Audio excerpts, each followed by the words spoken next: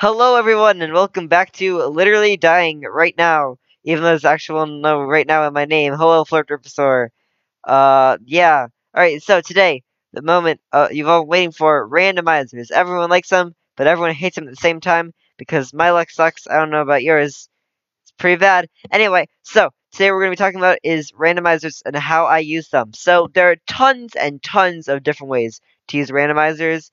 Uh, the one I use uh, uses armor stands and spread players, which comes with some pros and cons. So let's focus on the pros first. Uh, first of all, the pro, it works. It's, it's pretty good pro.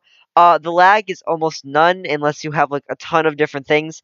Um, that's pretty much all the pros. It's not the best one. There are much better ones. I just can't think of them. Oh, acquired hardware. I'm I'm I'm proud. Um, as for cons, there are a few more. First of all, it has to be a multiple of three in order for that to be a middle and for it to work correctly. Uh, second of all, uh, some will be more common than others. That can be a pro and a con depending on what you want. For example, I just have one of the worst fireworks spawning more naturally than the other ones. Uh, so that can be a pro or a con depending on what kind of randomizer you're working for. Uh, so let's just get straight into what is going on here. So we have all this boring stuff. And actually, what happens over here is what the real stuff is. So we've got fireworks stuff and things, you know? So, uh, yeah.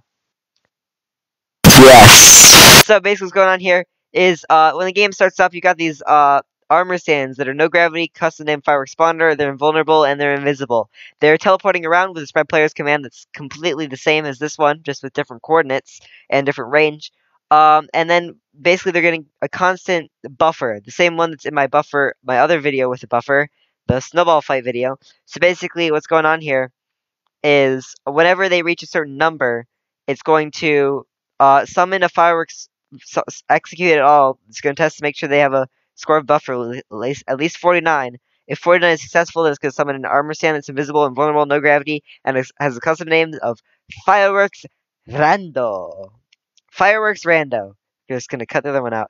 Uh, and it's going to spread players that armor stand all over here and it's going to spread players. Uh, basically, how spread players works is you've got spread players, 19 being the x coordinate, uh, 115 being the z coordinate, uh, zero blocks away from each other because uh, there's only going to be one of them.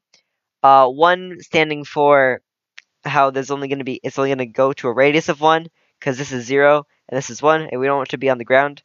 Um, and then false being going with teams, which doesn't matter in this case and at all entities name equals fireworks rando, so it's only teleporting that and not everything in the world.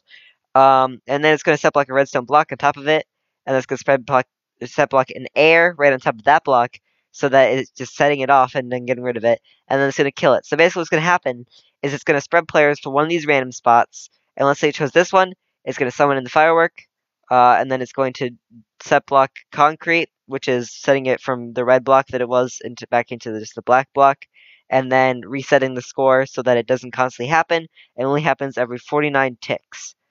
Uh, I don't know why I chose 49. It worked. Uh, I think I was trying to do something with score 50 before, but I never ended up using it. Uh, so yeah, that's basically about it for this quick, messy uh, tutorial. If you liked it, uh, uh, do yeah, yes.